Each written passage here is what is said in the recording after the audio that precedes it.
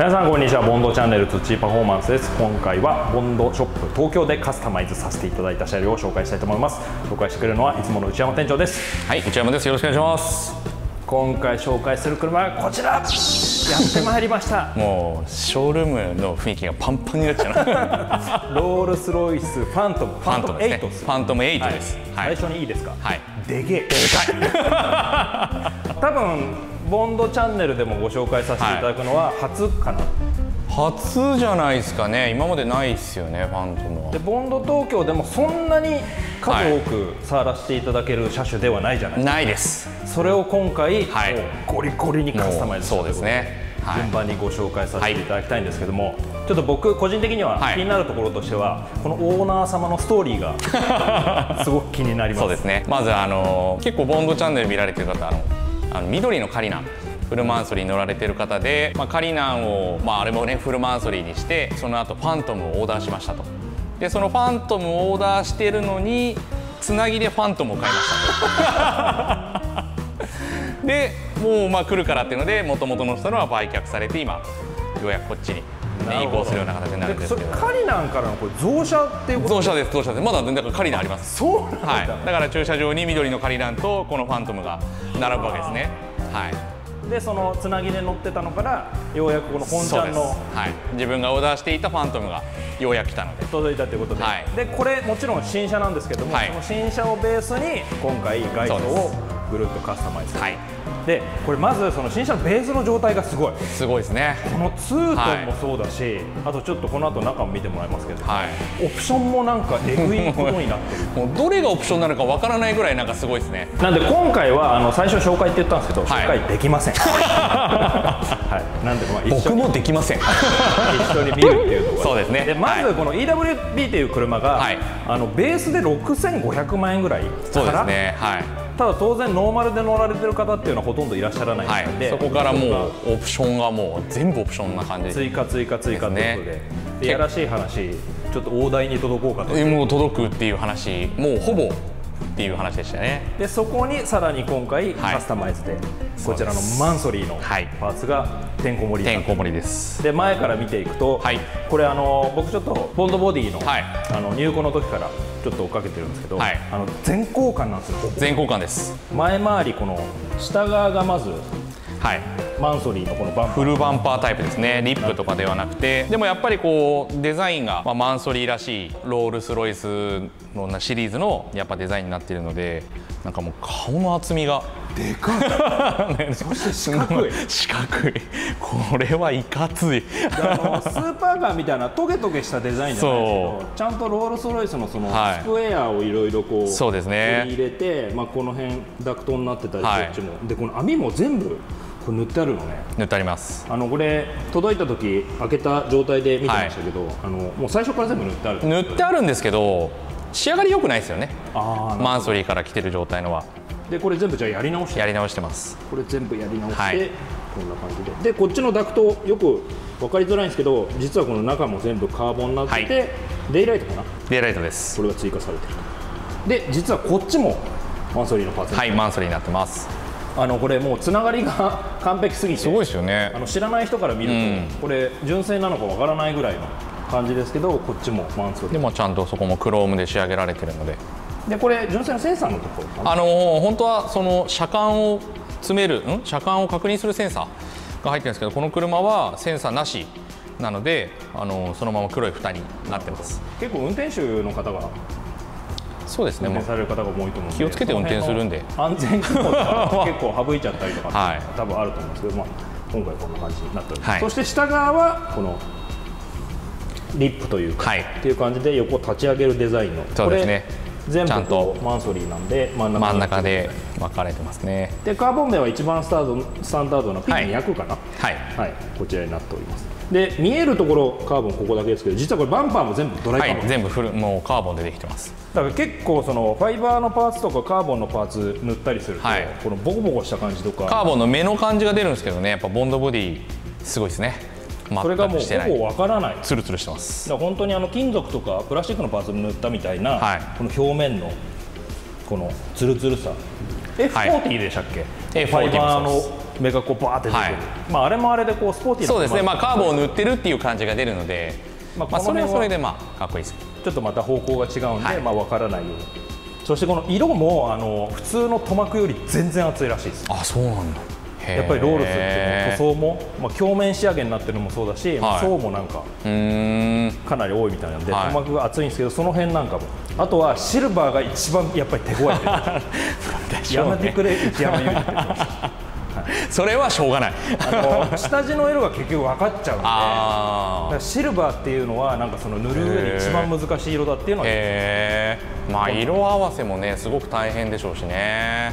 そしてあとこれこの後見てもらいますけど、はい。イルミネーションもあるんですよ、はいそうですね。あのまあ後で一回エンジンかけてまあどれだけ光るのかっていうのを、はい、夜間こんなにすごい車になるんだっていうのをちょっと見ていただいた方がいいですこれねバックミラーで見たら えぐいことになってる速攻で道譲るよね。これちょっと後で確認してみて、はい。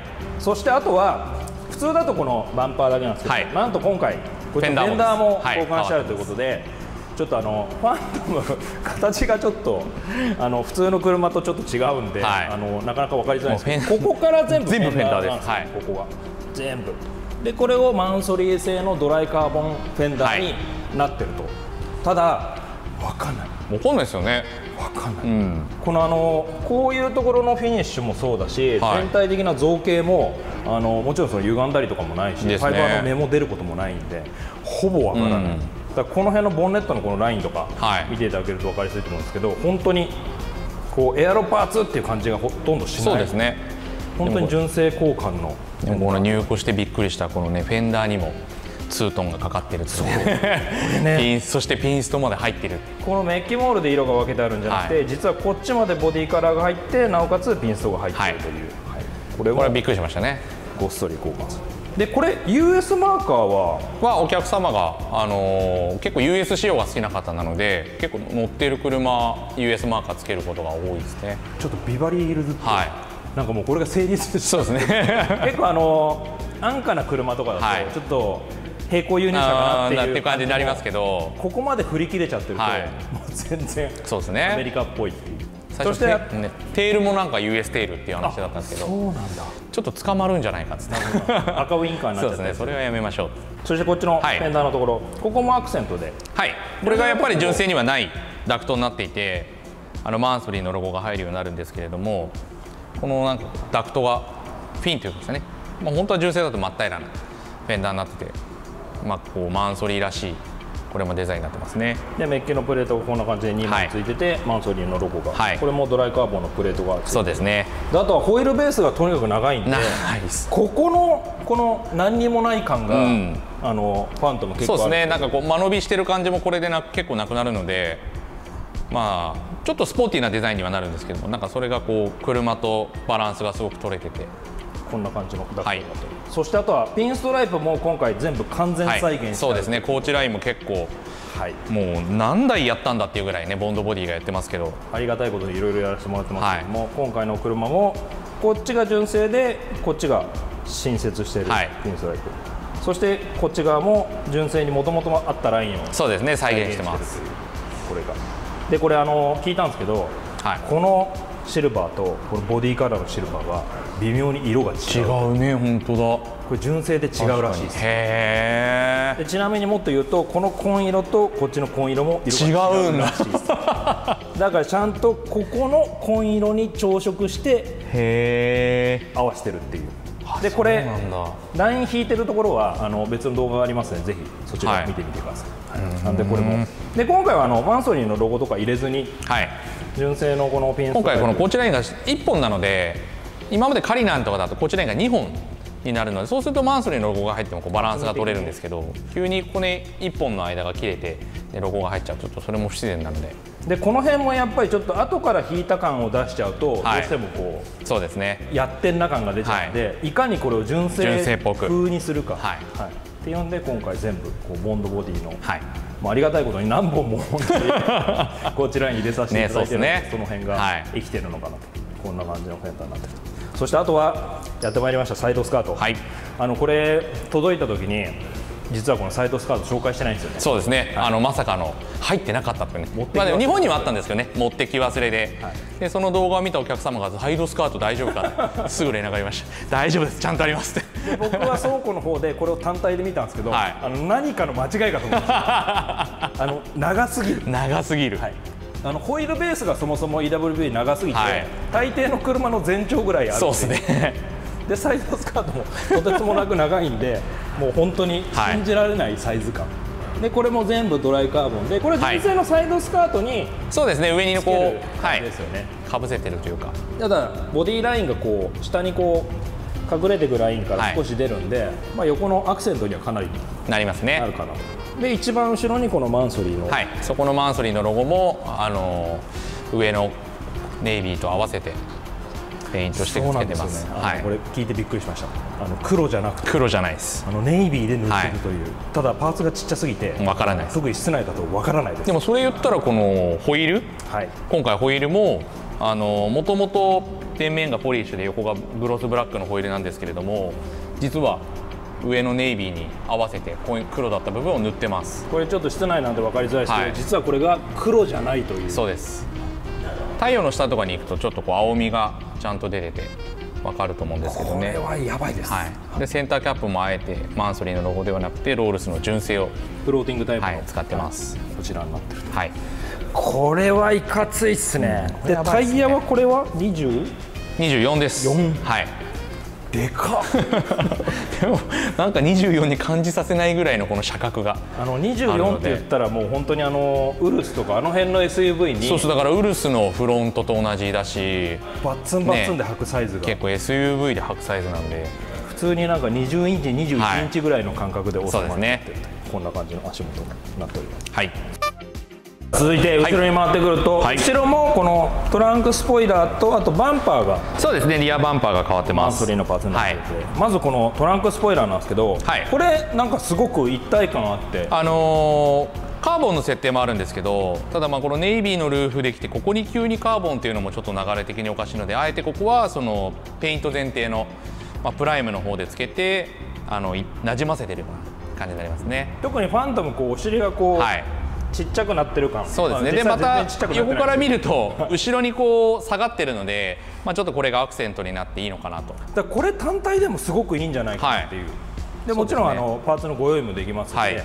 まあ、こういったこともできますしあとははい。さっきうちが言ってた通りそのカーボン出したい方はそうですね。カーボンの設定もありますし、まあ、それもやっぱりボディカラー次第だと思うんですよ、まあ、今回はちょっとこういった仕様なので逆にカーボンじゃない方が、まあ、そこはもう使い方ですよね。まあ、こんな感じの、はいそしてこっちの脇に。また同色にして黒じゃなくて。はい、ネイビーでペイントしてマンソリーのロゴが入っております。はい、そしてリアバンパーも交換されてると、でここの下の本当にわずかなラインだけカーボンが出してる感じですね。はい、このサイドスカートからのつながりがあるのであなるほど、はい、でこのラインで残してます。そしてこっちの横のダクトに行くとこの辺なんかもはい。追加されてて、絶妙な塗り分けで。そうですね。あの一番悩んだところですねそこは。これも出しすぎちゃってもおかしいし。そう。本国だとねこのダクトの後ろ側まで伸びてないんですよね本国のやり方だと、そうなんだ。はい、ここのなんですかねかまぼこ型のとこだけなのああでなるほど。うんちょっと今回そのダクトのぽさを出すためにこういうふうにカーボンを残してます。確かに。ちょっとはい。ダクトがアクセントになっていいそうですね。で当然この網の中も全部はい。グロスブラックで塗られて。る、はい、はい。そしてあとはマフラーも出口が。はい、こちらもマンソリーの。これ出口だけですよ、はい出口だけです。マフラーは変わってないです。なんでバンパーの形状が結構変わるんで、まあ、それと一体感のあるはい。出口になって。る、で真ん中は結構カーボンの比率が大きくて、まあ、ディフューザー形状とまではいかないですけどちょっとアクセントのあるそうですね。感じになってると、はい。で後ろも全部こうカーボンが中心に寄っていくデザインなので、はい。非常に統一感があるそしてもうマンソリーのパーツでいうとこのカーボンのこのよれがほぼない。んですないですね。本当に本当にカーボンの仕上がりはめちゃくちゃ綺麗ですよね。安価なパーツだと特にこういう段差の部分とか、はい。曲面の部分ってこうカーボンの目ゆがね、歪みやすい。こう歪んでるんですけどね。で特にあの平折りフェラーリ純正なんかで使われてる、あの四角のはい平折りだと歪みにくいらしいんですけど、あ早折りってそう伸ばした時にこう目が寄りやすいんあー。でやりたくないっていう結構エアロパーツもあるみたいメーカーなんかもあるみたいなんですけどマンソリーの場合はこの早折りでも歪まない、うん。こんな感じの。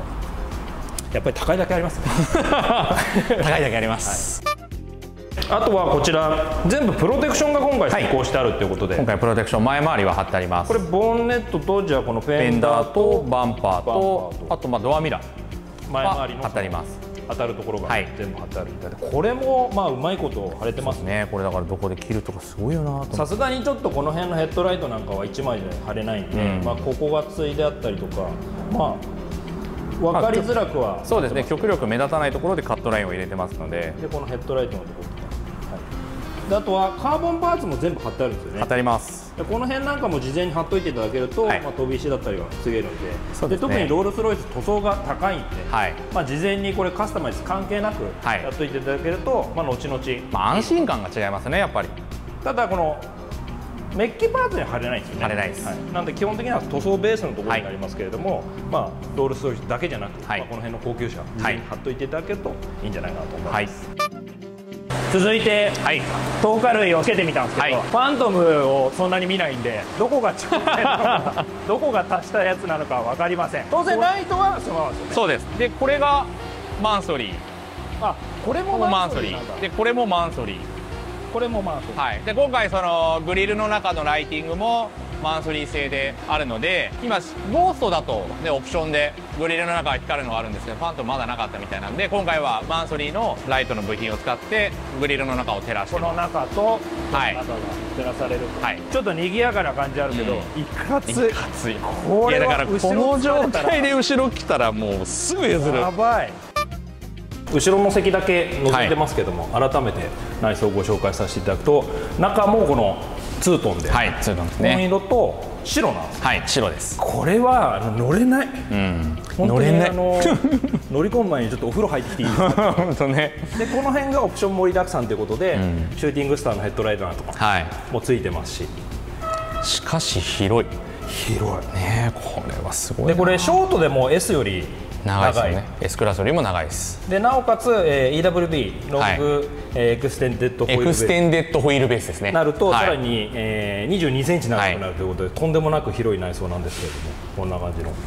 そしてこの辺なんかも全部細かく設定できるんですよね、すごいですよねこれ詳しい方いたら教えてください。そしてあとちょっとこれ勉強したんですけどあの世界一静かな車ってことみたいです。ああの先代のファントム7よりかもう10%ぐらい静かになってて、へー。あの中のその吸音材というか静かにするあのそういうものだけで120キロぐらい使ってるとにかくめちゃくちゃ静か。そしてこのダッシュボード、このガラス張りになってますけども、はこの中身がなんか助手席側もうアトリエみたいな,、えなんかいろいろできるらしいですね。なんか子供の写真とかもできるんですよなんかそんなそんな話をなんか聞いたことありますよ。なんかロールスロイス製の、なんかそのアートが中に入れられるっていう、でもそれをおっしゃったら売却できなくなっちゃいますよね。だからもうそうそういう車じゃないですよね、うんうん。もう自分のその全部オーダーメイドで作る車っていうことなんで、まあ、こんな仕様になっております。はい。じゃあ最後になりますけれども、はい。今回このとんでもない車に、はい。とんでもないカスタマイズを施したはい。車両をご紹介させていただいたんですけどこれいろいろやりようがあるんですよね。そうですね。あとはカーボンの目をあのマンソリーだと結構他にも種類があるので、まあ、フォージドカーボンだったりとか結構なんかあの特殊な網目のカーボンもあったりするので、まあ、ちょっと別で費用はかかってしまうんですけれどもそういったカーボン目を選んでつけることもできます。はい。あとはそのパーツ構成も、はい。スポイラーだけでもいいし、スポイラーなしでもいいし、はい。あとは塗り分けなんかも、はい。い、ろいろさじ加減ができると思います。できます。あとは今回ファントムをご紹介させていただいたんですけど、カリナンの人気もすごいんですよね。すごいですね最近。でアメリカうちと一緒に行かせていただきましたけど、アメリカでもカリナンの人気がね。すごいってこことで、んなにみんないじるのっていうぐらい。だから結構それもマンソリーやっぱりみたいなんで、まあ、カリナンだともっとパーツ点数も多いですし、はいまあ、いろいろなカスタマイズできると思います。そうですね。内山店長にご相談いただければ、はい。もうロールスロイスただでさえオンリーワンの車ですけども、はい。さらにオンリーワンの車ができると思いますのでぜひご相談ください、はい。というわけでボンドチャンネルのチャンネル登録もよろしくお願いします、最後までご視聴ありがとうございました。ありがとうございました